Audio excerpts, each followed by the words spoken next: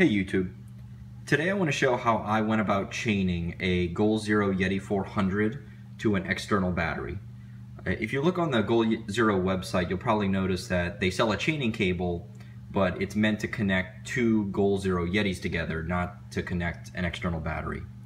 And while you can sort of cobble together a way to go from the Goal Zero to an external battery with an assortment of Goal Zero cables, some of those cables are different gauges and not all 10 gauge, which is what the chaining cable is. So to do this safely, I'll just show you my approach to this.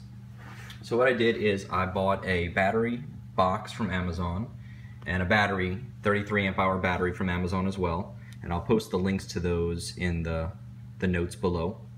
Uh, the next thing I got was a cable from a company called Powerwerx, which goes from a battery terminal uh, to a fuse to a 45 amp Anderson Powerpole connector.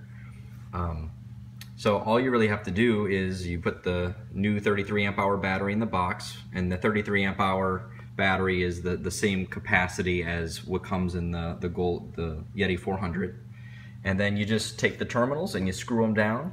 The important thing to note is that you uh, it should go a battery to cable terminal followed by washer, lock nut, and then the, the uh, bolt that holds it all together. You never want to put uh, the washer or anything else in between the battery terminal and the connector cable, so just make sure it's in that order and do that for both.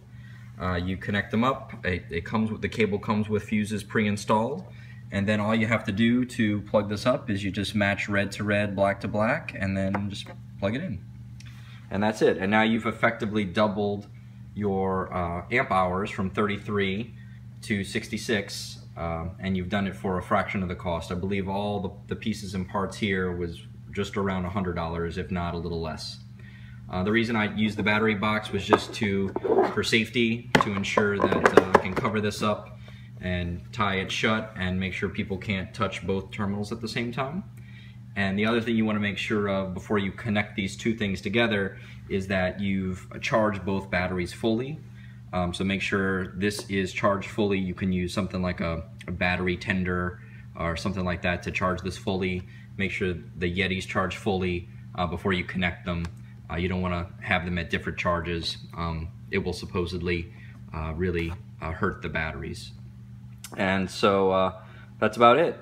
If you have any questions, uh, feel free to post them in the comments below, uh, but I hope you like this solution.